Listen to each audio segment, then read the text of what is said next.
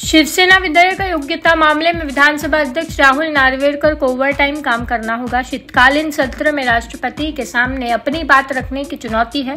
उन्हें शाम को सुनवाई करनी होगी, क्योंकि पूरे दिन सत्र चलेगा।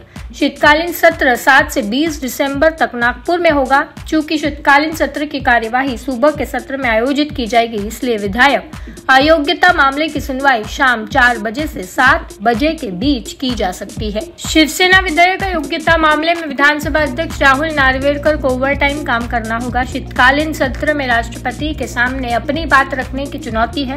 उन्हें शाम को सुनवाई करनी होगी, क्योंकि पूरे दिन सत्र चलेगा। शीतकालीन सत्र 7 से 20 दिसंबर तक नागपुर में होगा। चूँकि शीतकालीन सत्र की कार्यवाही सुबह के सत्र में आयोजित की जाएगी, इसलिए विधायक अयोग्यता मामले की सुनवाई शाम चार बजे से सात बजे के बीच की जा सकती है। शिवसेना विधेयक योग्यता मामले में विधानसभा अध्यक्ष राहुल नार्वेकर को ओवर टाइम काम करना होगा। शीतकालीन सत्र में राष्ट्रपति के सामने अपनी बात रखने की चुनौती है। उन्हें शाम को सुनवाई करनी होगी, क्योंकि पूरे दिन सत्र चलेगा। शीतकालीन सत्र 7 से 20 दिसंबर तक नागपुर में होगा। चूँकि शीतकालीन सत्र की कार्यवाही सुबह के सत्र में आयोजित की जाएगी, इसलिए विधायक अयोग्यता मामले की सुनवाई शाम चार बजे से सात बजे के बीच की जा सकती है।